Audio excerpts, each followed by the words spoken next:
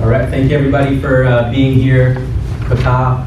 And um, so how many of you have ever wanted to testify for a county council agenda item, something that was important for you, but just couldn't, wouldn't? Yeah. Um, Why? Maybe it was because you had to work, you're in school, physically hard to get to. Maybe you're afraid to state your opinion in public. There's a lot of factors.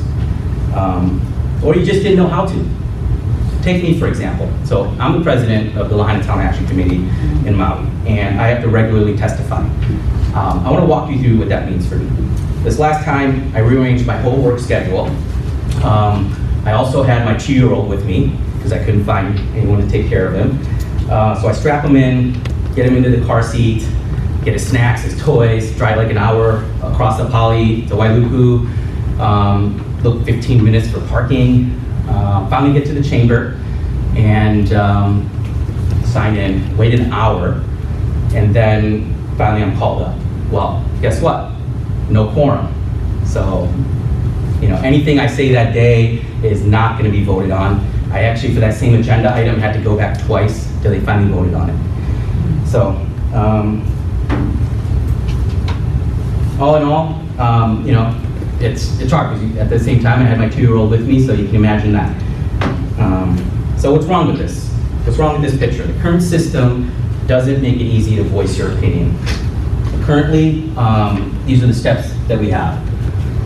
Right now, you have a three-minute in-person testimony. Um, You know, basically, if you don't show up, your voice isn't heard. Um, And that's one of the important things to remember.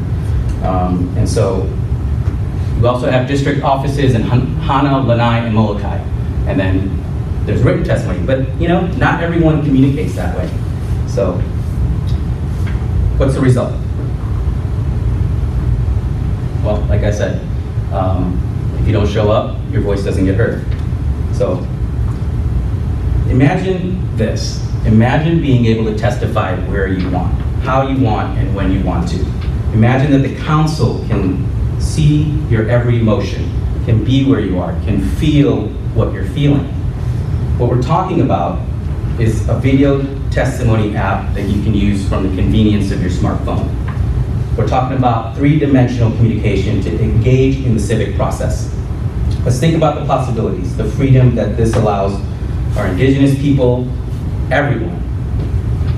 I mean, what's a better way to show stream flow restoration, you know, and being right at the stream? Um, Perhaps sharing a melody. Let's allow the advances in technology to work for us. So, how does it work? Well, you find the agenda item that you want to testify on. You click it, and then you testify, hit testify, there's a record um, kind of button on the side, and then there's a countdown, because you only have three minutes to do so. So we want to make the process as easy as possible. There's also a how-to tutorial as well on the bottom. If it's your first time testifying, you just want to get familiar and do some research on how to testify. So, we have a three-phase rollout plan. Uh, Civic engagement platform is the first thing we want to build with voter education, uh, as well as uh, providing mobile testimony and video testimony.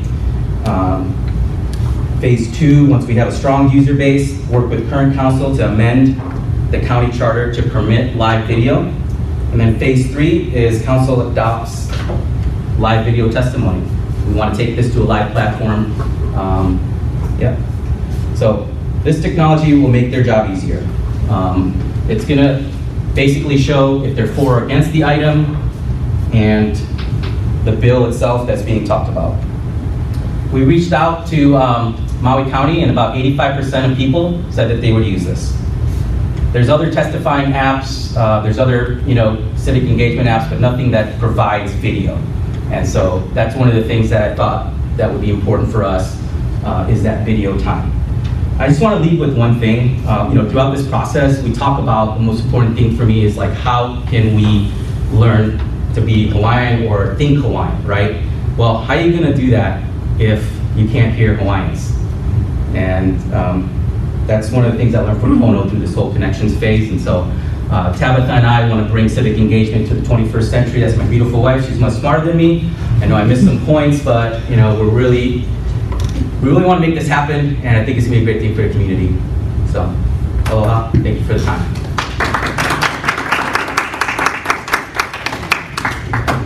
All right, we got five minutes for question and answers. Um, Chelsea Carter with Hawaii Green Growth. I'm, I'm wondering what, um, Kūkā means and why you chose it for your. Yeah, so there's actually a conversation that I was having, um, I like, uh, kind of, you know, attest to it, but, um, there's, um, council person, um, Stacy Crow, and she would always start the council meetings like, kuka, kuka, you know, kind of like, let's talk story. Uh, it means, there's a deeper meaning to it, um, it's like connecting, uh, and getting together and connecting. I think that's, that's the missing link for, you know, for a lot of things that our, um, you know, community goes through is like being able to more connect with each other in a profound way. And the, yeah, that's why we chose it. Yeah. Question. Um, Elena Farden from Elemental Excelerator. So thank you for sharing your um, idea. And voter apathy in Hawaii has been low, Yeah. the lowest in the states for years. So with civic engagement, I'm wondering how might uh, the app, or could you share the rollout aspect of the app in not only using it, but how do they get others to either say submit testimony on, on this particular bill or hearing that's going to happen? Yeah, so I think that social engagement platform in the beginning that we want to create is, is basically getting the users involved and then allowing them to reach out in the community and and maybe even say, hey, this agenda item is coming up, can I sign up for, you know, perhaps a way where I can connect uh, people that I think would like this in order for them to use this as kind of a portal and, you know, a, a easier way to connect. Right now, if you go to the, the, the Maui County site, and specifically Maui County, it's, it's very convoluted, there's a lot of different steps. We want to just make it as easy as possible so we can get more people to engage. I, I think that the struggle of actually, you know, from point A to point B of getting your testimony, like I talked about just personally, um, is what deters a lot of people, and then, you know, you don't get that engagement. So. Uh, Dave Carlson from high school. So first of all, I think it's really cool because for me, I kind of struggle with public testimony. Yeah. So I think having something like this is super helpful. Um, so two things. I think the first thing was the um, for the plat for the rollout. It seems like there still has to be like a permit approval process so that video testimony can be used. If you guys are like where you guys are kind of are in that. And two, what I also see is like like I love your story, but have you guys thought about even for like kupuna who aren't as able-bodied, how they might be able to leverage this kind of technology and Yeah, and those are the first people we thought of um, as well. Um, I think that's going to be really important. We reached out to a broad like, spectrum of individuals, and those are one of the people we identified because it's about learning from them, right, and, and, and sharing their knowledge and um, in, in, informing those decisions. But uh, to get back to your question, um, that rollout process um, basically, um, I'm sorry, once again. For the, for the. Tabitha, huh? Charter amendment. Oh, yeah, so the charter amendment, what, we talked to Kelly King, she's the council chair, and, and that's where we identified the issue, is really, like, we need to, um, she basically told us we need to provide the people and, and make the change happen, and, and, and bring Maui County to the twenty-first century. So, right now, you can only get your, your, your sort of testimony on record if you're physically standing there. Um, What we want to say is everyone is in a remote situation, whether it be remoteness because of work, whether it be remoteness because you can't get childcare or you provide elder care. Uh, Everyone is kind of remote in that sense, right? Because you can't physically get there. So the same precedent that exists for remote testimony sites like Hana, Molokai, Lanai should exist for individuals as well. Because So my remoteness is not based on physicality perhaps, but my time and commitment to, yeah. Sorry, so you, my name is from Manila, Hawaii. So you do have already uh, precedent for remote testimony, Yeah. so you're just reframing. The so charter. Your, your. We just need to That's all. reword it to allow it. So it's on- already it's there because it's already on it. Yeah, it's already. the ballot. It's not submissible in its form unless it's on the Maui charter ballot. Yeah. So the Maui County votes for it. When is it next, when is the charter amendments put on the ballot? Um, So the remote part of it already exists. We just have to add this part to it.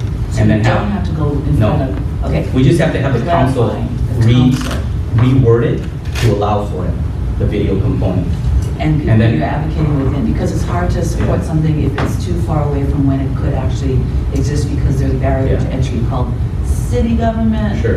Maui County government. So Yeah, so- they're all your friends, you know them all, you're all into it. I, I think, uh, yeah, seventy percent of them are into it. Uh, we, we reached out to all the council members that we So you could. got the vote. And so, yeah, I think right now is a perfect, uh, atmosphere. So just be very specific, timing, Okay, next year. next year. Okay. All right, that's time, guys, five minutes. Thank you. Thank you. Yeah, thank you guys.